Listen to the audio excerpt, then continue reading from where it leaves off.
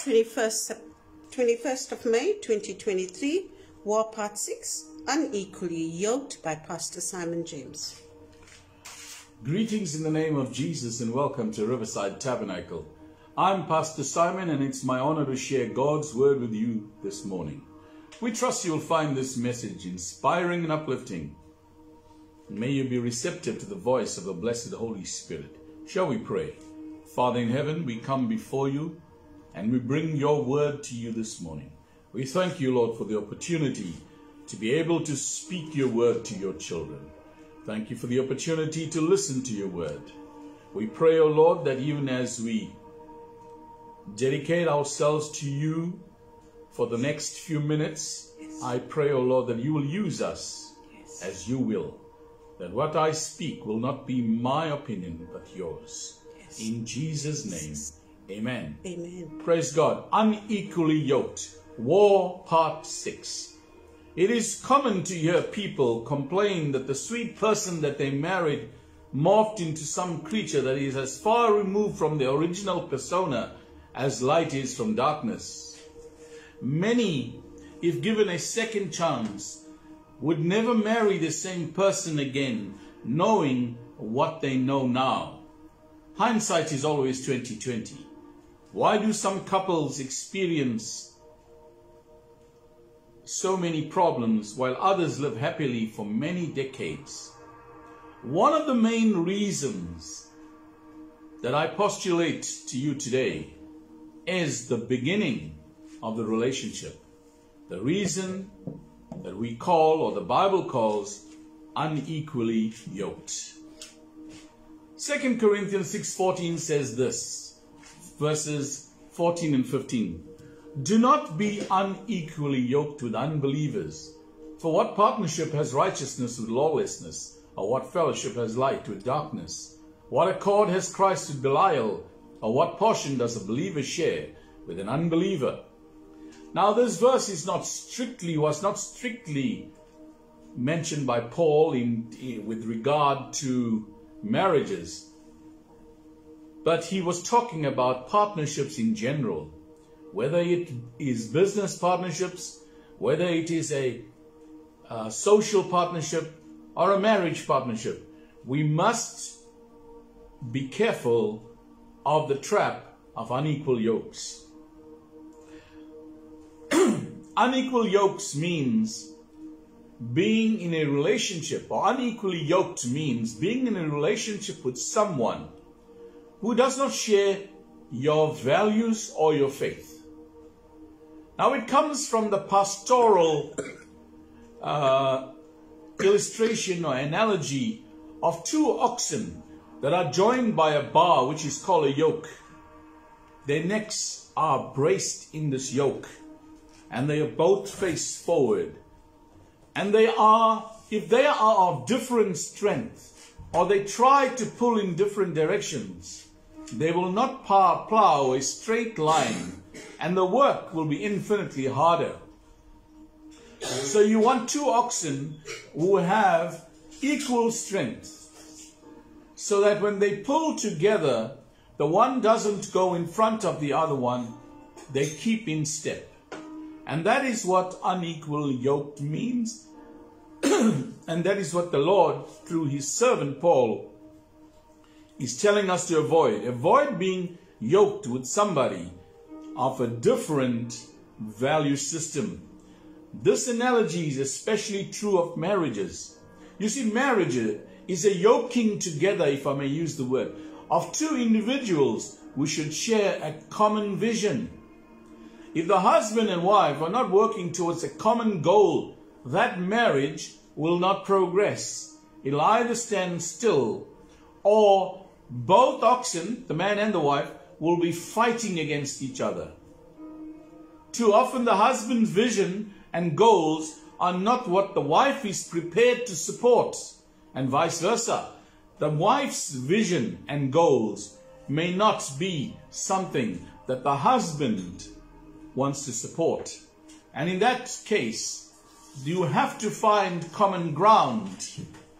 Now, without common ground, without common goals, a common vision for your family, common goals for your family, a common mission statement, as it were, for your family and for yourselves, which both parties believe in and both trust, you can never pull forward in a straight line. For example, if the father is a reticent disciplinarian, discipline is really the father's job. But if the father is a, is a reticent dis, disciplinarian uh, or doesn't want to discipline his kids, then he puts extra pressure on the mum. And vice versa in other things. For example, if the mum doesn't want to take care of the kids, or whatever her role is, these need to be calculated. They need to be agreed mutually between the parties so that you have a common, clear direction in which you take your family or you take your relationship. Now, the root cause of this crisis is often, it's not the only reason. Psychopathy could be a reason. Okay? Narcissism could be a reason. There could be physical ailments or mental ailments that could be a reason for is breaking down. But the root cause of this crisis is an unequal yoking at marriage. An unequal yoking. The reason for this is, or, or the, the background to this is simply this. Let me just revisit the mental illnesses that people have. Many people are narcissistic. The world revolves around them. That kind of person would be a difficult person to live. Then you get people who are psychopaths, who feel no empathy or pity for anybody. Everything is just normal for them. And then there is other illnesses, like the illness of bipolarism. Bipolarism is an illness and it needs to be excuse me, it needs to be diagnosed, treated. Because if you refuse to be treated for whatever illness you have, mental, physical, you put pressure on the other person. Now, let me get back to unequal yoking at marriage. The reason for marrying and for ending up in an unequally yoked marriage was either a physical or material decision let me explain. Whereas God intended marriage to be a spiritual union of two souls, most people marry for physical or material benefit. They marry for what they can see, what they can feel. Now, what you see and what you feel is not always permanent. Now, of all the characteristics of love, the best for me is that true love is a spiritual connection. True love is not a physical connection, it is a spiritual union. The spiritual always outlasts the physical. You see, gravity, time, and disease wreak havoc on the human body. It uh, wreaks havoc on anything that is physical or material. As we age, our bodies lose their attractiveness, but the mind and soul retain their attraction or their attractiveness. And sometimes they even grow. People should try to unite on a spiritual level. For long-term success, one must marry someone they connect with spiritually. When the body is gone, when the body is weak, when the flesh is weak, the spirit must remain strong. When the physical pleasures of life have departed and they are no more, what is left? But the ability to converse the ability to connect spiritually and mentally, intellectually. I want to give you an example of an intellectual marrying someone who cannot meaningfully converse with them, makes them or makes for them a very lonely life for both of them. Because I have seen a marriage and many marriages where the husband or the wife is an intellectual, the wife or the husband is not.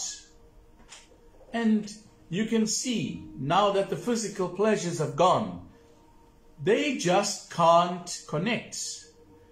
They cannot reach common ground and they end up in an argument or frustration because each cannot really talk to the other.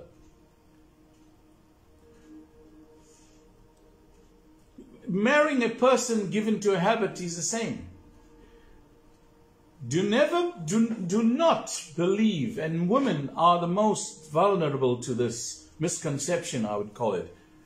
Do not believe that if you marry somebody who has a bad habit, whatever he is, I'm not interested in the habit, whatever the habit is, that you or your influence is going to change that person. If he's doing that or she's doing that, only they can want to change it. You can want all you like to change it. It doesn't change. They must want to do it, and you must understand that, that they may not ever want to change. It is a, it is a risk that you, you must take, I mean, that you, you are taking, and you must be informed when you make the decision to say, I do. Perhaps the most, so perhaps the area of most importance to the believer in the terms of unequally yoking is the issue of religion, is, is the issue of God.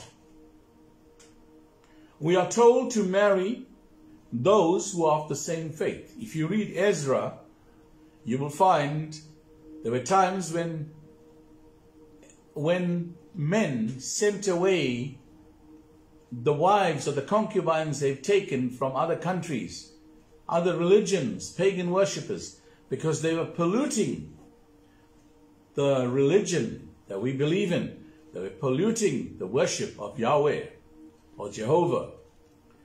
The Bible encourages us. It doesn't force us. It encourages us to marry those of who are of the same faith as us. Now this rule, whilst not hard and fast, eliminates the confusion which faces the children later and the inevitable arguments about the choice of deity to serve. It eliminates a lot of the problems in the family. Two people cannot live together unless they are agreed. The spirits that control each do not agree and problems result. Now today I want to take you through two people, two men, and possibly uh, uh one or two women about marriage. Now, what, what, what I'm saying to you about these men and these women applies equally across both the sexes, both the genders. Okay? It applies to the man and to the woman. Now let's talk about Samson, the man who wanted his way. Samson was a chosen champion of the Lord, yet he was as headstrong as they came. He broke tradition by consorting with foreign pagan women rather than marrying a Jewish girl. The Jewish girls were not as physically appealing to him as the Philistine women were. And when you read through the Bible, the Old Testament, you find that the Israelite men often found the women of the nations around them much more attractive, more sexually appealing, or as we say, they were sexier. And I suppose that it was the way they dressed or the way they carried themselves, the things that they did in their worship, because a lot of the pagan worship happened when people were hardly clothed or totally naked. And they didn't have the rules that Jehovah God gave to the Israelites. So Samson found that he could do things with these Philistine women that Jewish women wouldn't even think about. You get, you catch my drift. So he was attracted to them. They, he was attracted to their culture. He was attracted to their physical looks. And culture is a big problem when you marry across the cultural line. Excuse me.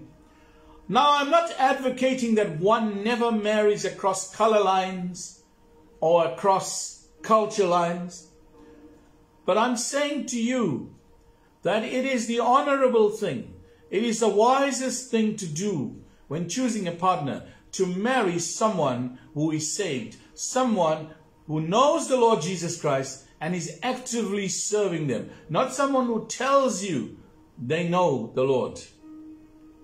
Samson married a foreigner who did not serve the Lord. Now, this was his first woman that he married. He married this woman. When he saw this woman at whatever function or club or whatever it was in those days, he saw her, he was attracted to her. He went to his parents and he issued them an ultimatum. He said, Get me this woman to wife.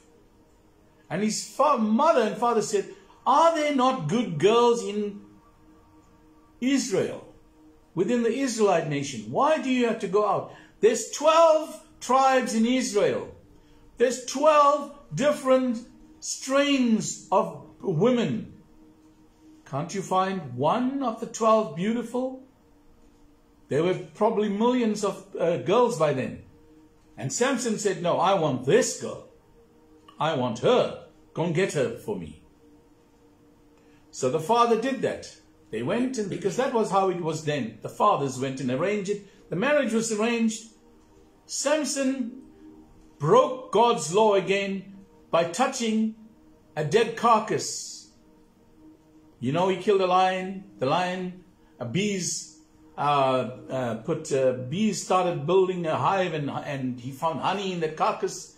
He ate that. He even defiled his parents by giving them to eat, and there was a riddle, all that. I won't go into all that. But the upshot of it is that Samson had a falling out with the Philistines, with his father-in-law, and he lost his wife because his wife was taken and given to his best man. Well, that's one marriage where the best man was the best man. Now, their culture and customs are different from those of the Israelites. Whereas Samson was betrothed to, if, if Samson was betrothed to an Israelite woman, she was his wife for life, even though they had not consummated the marriage. But in this case, it was easy for the father to take her and give her to somebody else. Now, yes, God allowed this to happen, and he used it to destroy a thousand Philistines and 30, uh, I can't remember the other uh, uh, people from another nation. With the jawbone of an ass, Samson killed a thousand Philistines. He then consorted to comfort himself. He consorted with a prostitute. He went into a prostitute. He stayed over with a prostitute. Again, he was defiling himself because he was a judge of Israel, which was the equivalent of a prophet in those days. Now, the great young judge of Israel had lost his way. And scholars say that Samson wasn't very old. He probably was in his 20s or maybe early 30s at most. He lost his way. As the judge of Israel, Samson had destroyed his testimony. People could not look at Samson anymore and say, there's a perfect example of what a young man should be. He who was judging the nation of Israel was committing the sins which he judged. You see, this is the problem of being unequally yoked. He was unequally yoked to the Philistine woman, then he was unequally yoked to the prostitute. The Bible says, what, uh, what benefit is that to us if we join ourselves to the prostitute? And to add insult to injury, Samson went ahead and fell in love with Delilah, who was another Philistine woman. He was, she might have been a very, very beautiful woman, but he fell in love with her. He loved her. And Delilah was a trap and his downfall. She was used by the devil to do to Samson what no mortal man could ever do or even dream of doing. Samson was the strongest person on earth. But she, a woman, a mere woman, brought him down. She single-handedly destroyed the mighty Samson, not with a sword, but with a kiss. She enticed him to tell her the secret of his strength And in that melee of sex and debauchery and fun that he was having and drinking that he was having with her, she was able to entice him to tell her, tell her his secret, which he did. And then she sold him out to the Philistine, his sworn enemies. You see, when God has a plan for you, be sure that Satan has a counter plan. Satan is not in hell, like many think. Satan is not stupid, like many think.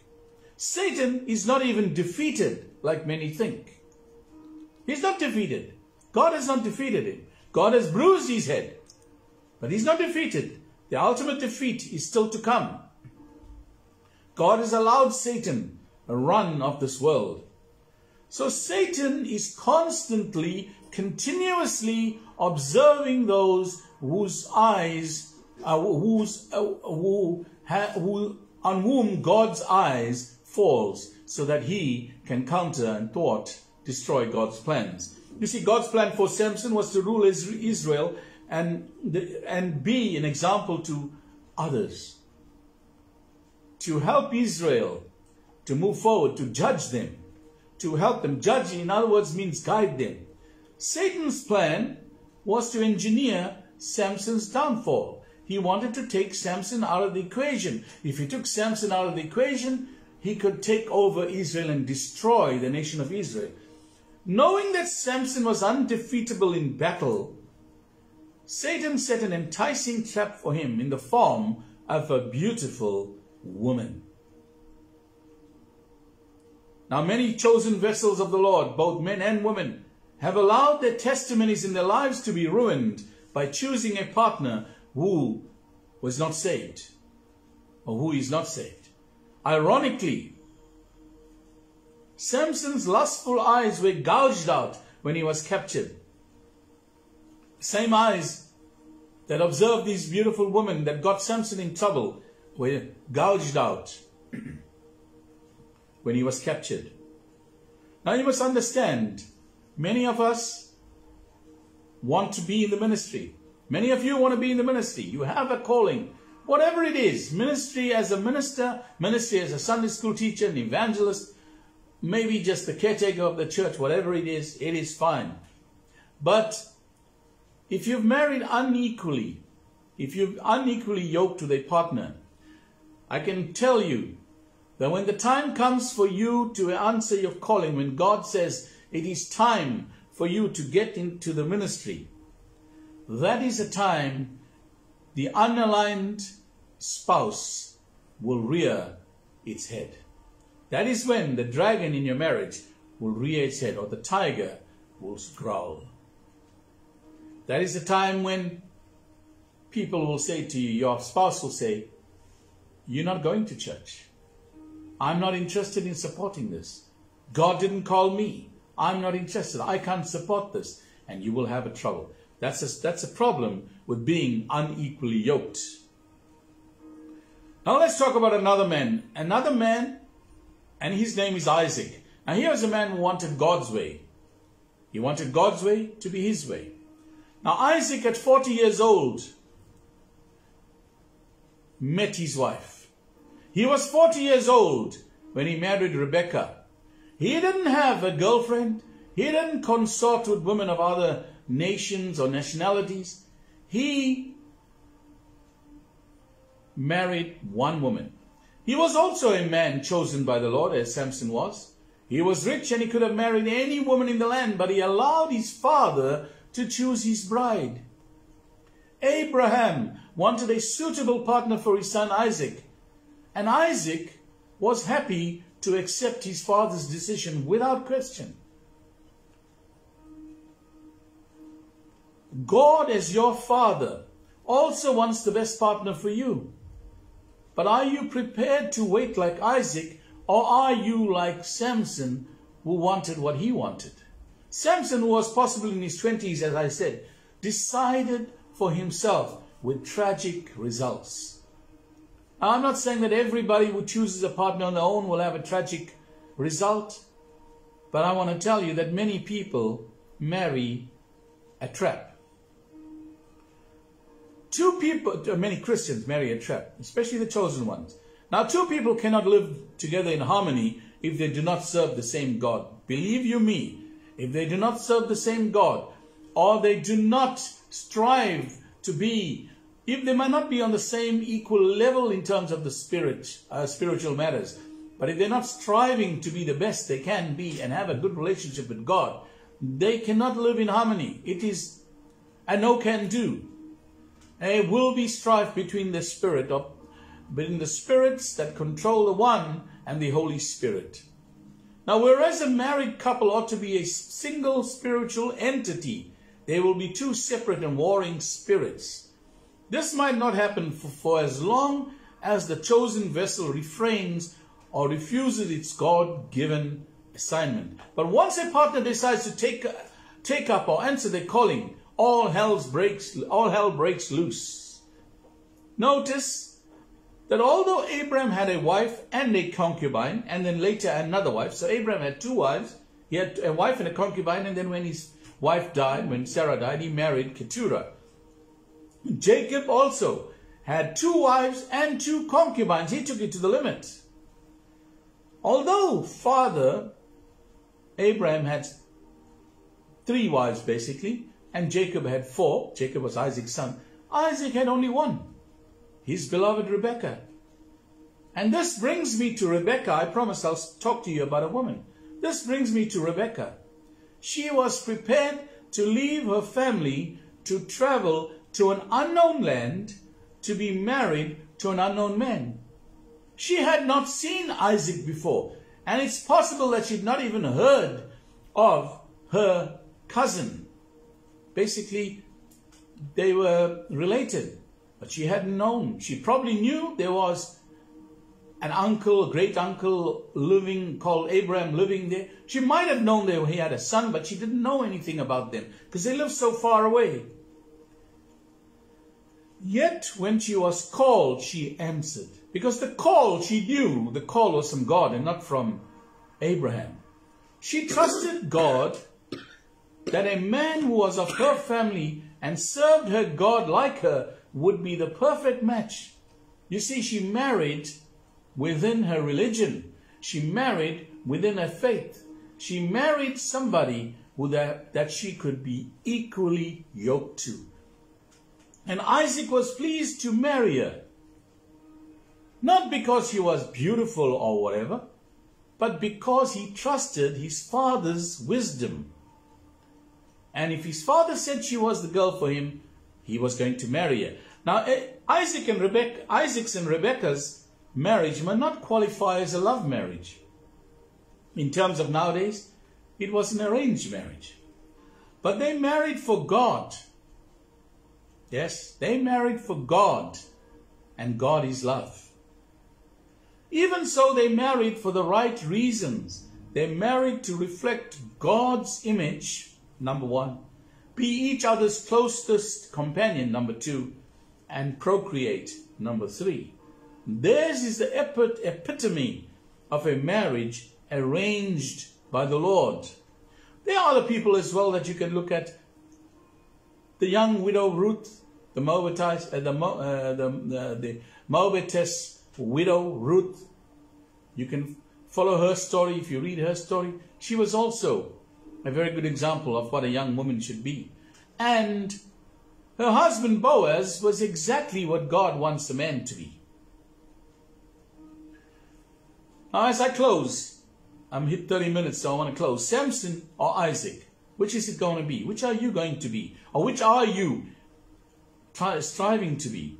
When it comes to finding the perfect partner, it is wise to remember the phrase pray or pay. This simply means that if you don't pray the right person into your life, you will pay the price later for the wrong person in your life. Rather pray now and get the right partner. It will save many tears, sleepless nights, divorce, or death. Do not marry for physical looks alone. I'm not telling you to go look for the ugliest person now, in your opinion, and marry them. I'm not saying that. I'm not saying that. I'm saying make sure that you don't just connect on a physical level. but that you connect on an intellectual and more especially spiritually, you're compatible. Samson did not waste time praying for a wife. Now, did Isaac pray? Yes. Isaac was praying. Samson did not waste time praying for a wife. He married a wife whom he never had. He slept with a prostitute who he could never marry. And he loved a woman who deceived him, who never loved him. She was using him. Isaac's wife was the result of prayer. Isaac himself was a man of, man of prayer. How do we know this? When Rebekah first laid eyes on Isaac, he was in the field praying. Go and read the Bible, you'll see it there. Good spouses are seldom found. Now, this is a tip that I learned. Good spouses are seldom found in bars and nightclubs. Rather look for your partner in church. It is not a shame to pray for a partner. It doesn't mean that you will get left on the shelf or you'll be a wallflower if you do not, if you keep praying for a partner. I also thought it was a joke when I was young to pray for a partner. But I can tell you, I have seen many people suffer because they refuse to pray. Be like Isaac, not like Samson. We trust you've enjoyed God's word and that it has been a blessing to you. If you're inspired by it, please share it with your friends and family. Remember, we're live on Facebook every Wednesday at 7 p.m. and Sunday at 10 a.m. Please visit our YouTube channel. Click the like button, subscribe. We have 51 subscribers. We need a lot more for YouTube to publish these messages. If you think these messages could benefit even one person, then please go onto our channel like it and subscribe it. This is Pastor Simon, and as always, it has been my pleasure. Till next time, God bless.